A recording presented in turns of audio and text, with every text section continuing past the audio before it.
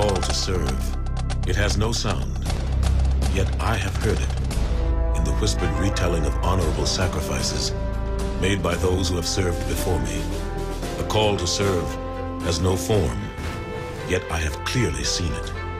In the eyes of men and women infinitely more courageous and more driven than most. The call to serve has no weight, yet I have held it in my hands.